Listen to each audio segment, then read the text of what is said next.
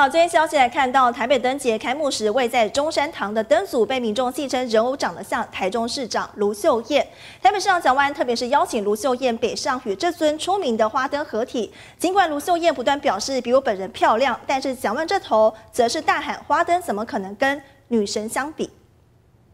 哪一个像我？每一个都长得很像我。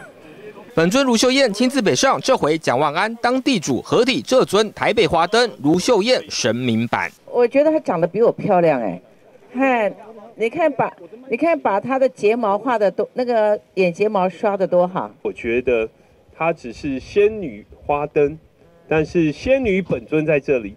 叫我女神就可以了。女神是是是，仙女下凡，仙女下凡。贴心地卢市长整理衣领，两人却正好是国民党二零二八总统潜在候选人，呼声最高人选。凤冠还蛮有兴趣的，那会想要戴上吗？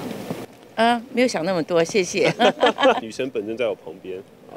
花灯怎么可能跟女神比？他是男神啊，我不是女神，他是真的男神。伴手礼，我知道这个，我来买过。真的吗？滋养草莓大福。对，草莓大福好像是北中两都男女神合体。日前卢秀燕才因为瘦肉精风波，公开邀约行政院副院长郑文灿来吃酸菜白肉锅，但蒋市长却是无辣不欢。